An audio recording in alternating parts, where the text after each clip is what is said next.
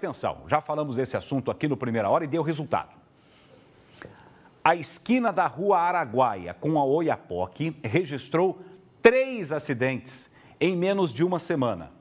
A CMTU instalou semáforo na região e agora tenta melhorar a visibilidade tirando o estacionamento de carros ali da proximidade do cruzamento. Mas veja só, não foram três acidentes em, em uma semana, né?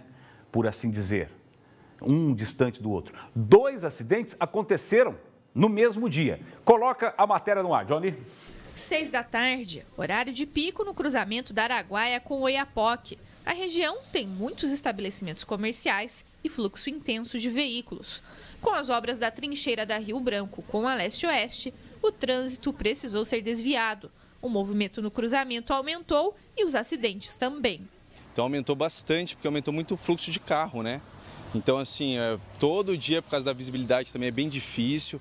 Então, todo dia está tendo acidente. Nem todos são graves, mas como que aconteceu, mas todo dia tem algum acidente. Foram três acidentes em menos de uma semana. Nessa segunda, câmeras de monitoramento registraram a colisão entre um carro e uma moto no cruzamento. Na quinta passada, foram dois acidentes, um deles entre um gol e uma moto.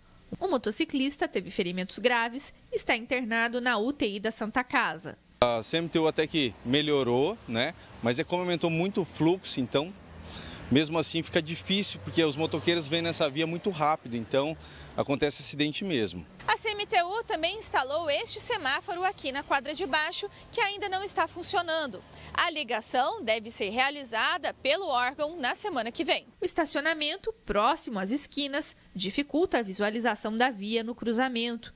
Para melhorar as condições do trânsito, a CMTU transformou as vagas de carro em vagas para motos.